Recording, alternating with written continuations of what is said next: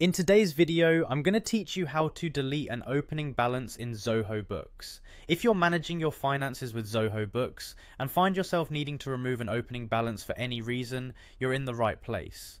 Deleting an opening balance can sometimes be necessary if there was an error during initial setup or if you simply need to start fresh with your entries. Let's walk through this process together in a few simple steps. To get started, you'll first need to open your web browser and head over to the Zoho Books login page. Click on the sign in button which will direct you to the login panel. You'll see several options to sign in including using Google for a quick login if your Zoho Books account is integrated with your Google account.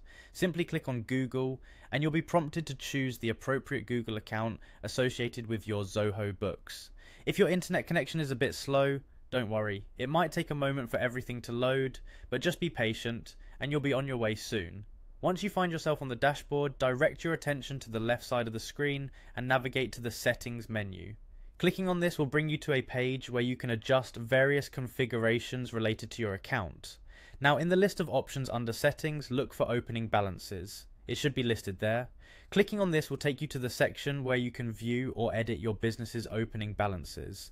In the opening balances section, take a minute to verify the information displayed to ensure you're about to delete the right entry. Next, locate the trash can icon, typically situated above your list of opening balances.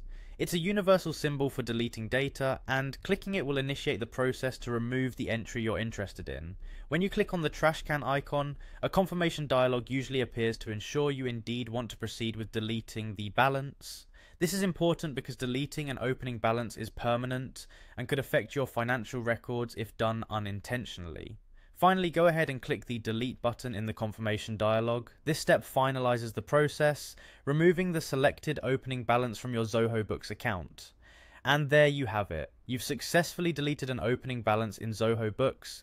If you have other opening balances you intend to manage, you can follow these same steps.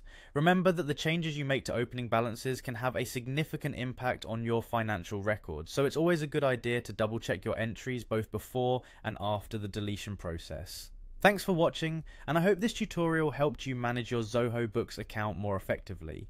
Stay tuned for more helpful guides, and don't forget to subscribe for future updates.